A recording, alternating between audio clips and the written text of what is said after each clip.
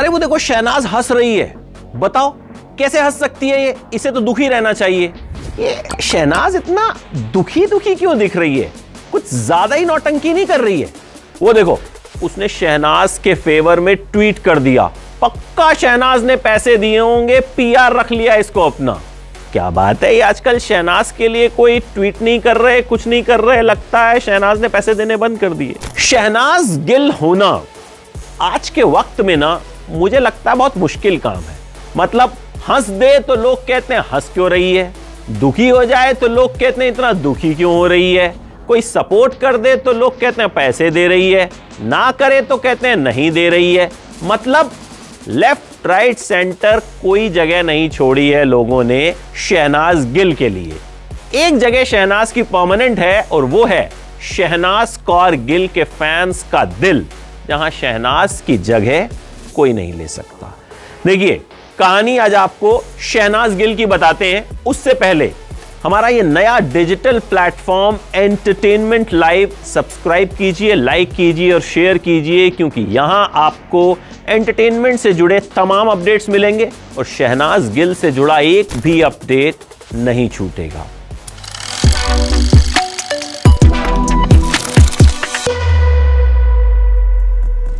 देखिए शहनाज गिल की जो कहानी है ना, वो बड़ी दिलचस्प भी है, बड़ी इंस्पिरेशनल भी है और बड़ी पेचीदा भी है। पंजाब की एक लड़की, अल्हड़ सी, मासूम सी, जब शीशे में खुद को देखती थी तो लगता था कितनी क्यूट हूँ मैं। आई एम सो ब्यूटिफुल मुझे तो हीरोइन बनना चाहिए। ये शहनाज आज भी कहती है ना, जब भी कहीं होता है तो कितनी क्यूट हूँ मैं, देखो मीडिया मेरे पीछे है, देखो ये यही अदाएँ उनकी फैंस को पसंद आती हैं, लोगों को पसंद आती हैं।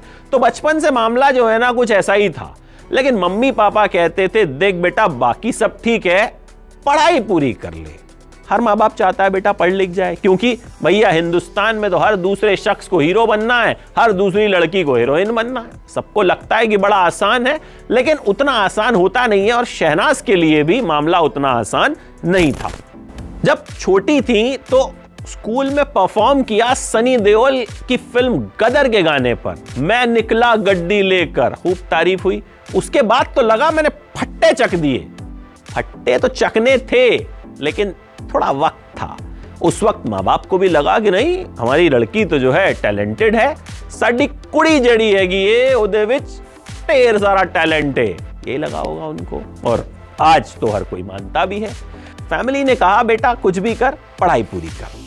कॉलेज में एडमिशन हुआ, वहाँ ब्यूटी कॉन्टेस्ट जीत लिया, कॉलेज का ब्यूटी कॉन्टेस्ट भाई, खूबसूरत तो है ही तो ब्यूटी कॉन्टेस्ट जीतने में कोई दिक्कत हुई नहीं।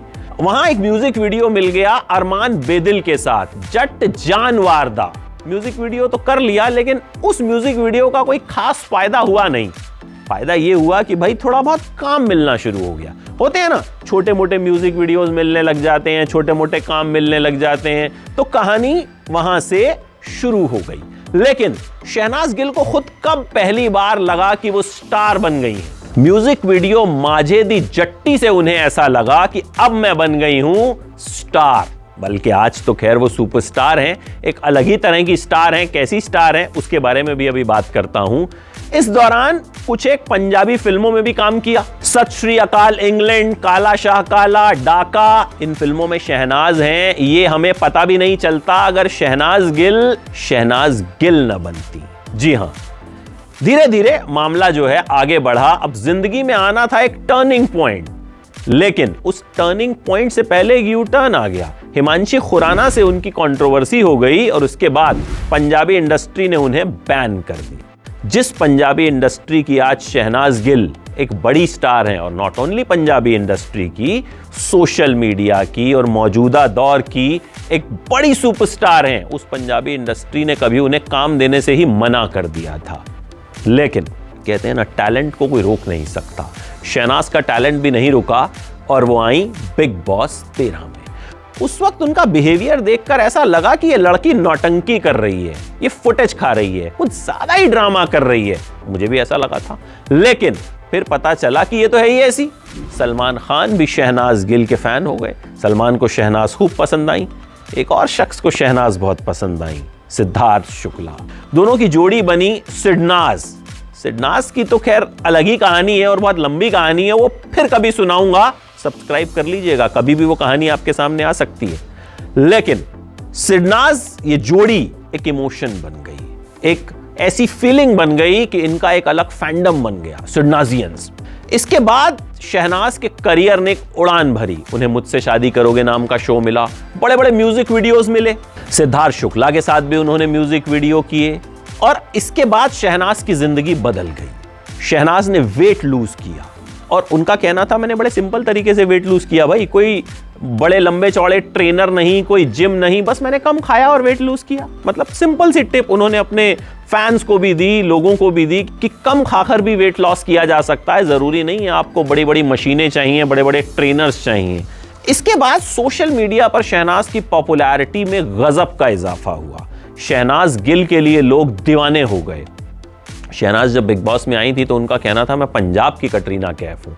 लेकिन इसके बाद वो इंडिया की कटरीना कैफ बनी।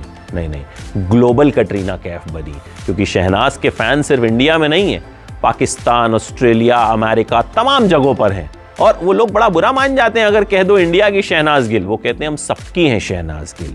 शहनाज सोशल मीडिया पर फिर जब एक पोस्ट भी किया करती थी, एक तस्वीर डाला करती थी, उस पर लाखों कमेंट्स लाखों लाइक्स होते थे, खूब वायरल हो जाती हैं। और ट्विटर पे लगातार ट्रेंड करती रहती हैं। डब्बू रत्नानी ने शहनाज गिल को अपने कैमरे में कैद किया, जिस शहनाज को बिग बॉस में कभी कपड़ों के लिए ताने पड़ा करते थे, वो एक स्टाइल आइकॉन बन गई। लेकिन शहनाज को एक झटका लगा। उनके सिद्धार्थ इस दुनिया से चले गए। उस वक्त ऐसा लगा कि जैसे शहनाज की ज़िंदगी भी खत्म हो जाएगी। शहनाज कई महीनों गायब रही। उस दौरान वो दिलजीत दोसांझ के साथ फ़िल्म हौसला रख की शूटिंग कर रही थी। शहनाज का सपना था दिलजीत के साथ काम करने का। ये सपना पूरा हो रहा था, लेकिन इसी बीच ज़िंदगी पलट गई। शहनाज ने जैसे तैसे उस फ़िल्म की शूटिंग पूरी की।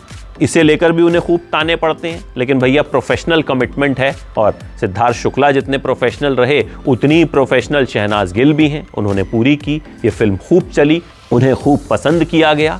लेकिन सिद्धार्थ के जाने के बाद शहनाज की ज़िंदगी में एक ठहराव आया और बहुत वक्त बाद वो इससे निकल पाई ब्रह्म कुमारी की मदद से। सिद्धार्थ शुक्ला की वजह से ही शहनाज गिल ब्रह्म कुमारी आश्रम से जुड़ी थी और उसी वजह से वो अपने इस गम से कहीं ना कहीं बाहर निकल पाई। या फिर कहें कि कम से कम उन्होंने दुनिया को यह दिखाने की कोशिश की कि मैं बाहर आ चुकी हूँ। फिर शहनाज गिल बड़ी बड़ी पार्टीज़ में नज़र आने लगी। एक पार्टी में वो सलमान खान के साथ दिखी। सलमान खान को उन्होंने गले से लगाया, इसे लेकर खूब बातें बनी, खूब लोगों ने कुछ कहा। लेकिन भैया, जब सलमान खान को कोई दिक्कत नहीं थी, जब शहनाज गिल को कोई दिक्कत नहीं थी तो फिर ये हेटर्स का ये चाचा बनते हैं। इन्हें भी कोई दिक्कत नहीं होनी चाहिए। लेकिन अगर दिक्कत नहीं होगी तो हेटर्स हेटर्स कैसे होंगे? तो उन्हें अपना काम करने दीजिए, और जो शहनाज गिल के चाहने वाले हैं, वो अपना काम करें, वो कर ही रहे हैं। शहनाज को प्यार करना, उन्हें बात बात पर ट्रेंड करवा देना, उनकी पोस्ट को वायरल कर देना। अब शहनाज गिल को लेकर कई तरह की खबरें हैं कि वो इस फ़िल्म में दिखने वाली हैं, उस फ़िल्म में दिखने वाली हैं। देखिए, शहनाज गिल ने जो मुकाम बनाया है ना, वो एक अलग तरह का मुकाम है। वो एक ऐसी सोशल सुपरस्टार बनी है जो बहुत ज़्यादा बड़े प्रोजेक्ट्स किए बिना इतनी पॉपुलर है। खूब सारे ब्रांड्स का प्रमोशन करती हैं। जहाँ जाती हैं, भीड़ उनके पीछे होती है, उन्हें खूब प्यार मिलता है। तो कहीं ना कहीं शहनाज ने एक ऐसी फाउंडेशन सेट कर दी है जो आगे जाकर उन्हें कामयाबी के नए शिखर पर ले जाएगी और उस शिखर पर भी शहनाज, मुझे उम्मीद है कि वैसी रहेंगी जैसी वो अब हैं। बिल्कुल अल्हड़, बिल्कुल मासूम, बिल्कुल देसी। तो ये थी शहनाज गिल की कहानी, लेकिन शहनाज की खूब सारी कहानियाँ अभी बाकी हैं। सिडनास की कहानी भी बाकी है और सिद्धार्थ की कहानी भी बाकी है। तो अब आपको एंटरटेनमेंट लाइव पर हर अपडेट मिलेगा। सब्सक्राइब कीजिए, लाइक कीजिए और शेयर कीजिए। और ये भी बताइए कि आप क्या देखना चाहते हैं, क्योंकि हम वही दिखाएँगे जो आपको पसंद है।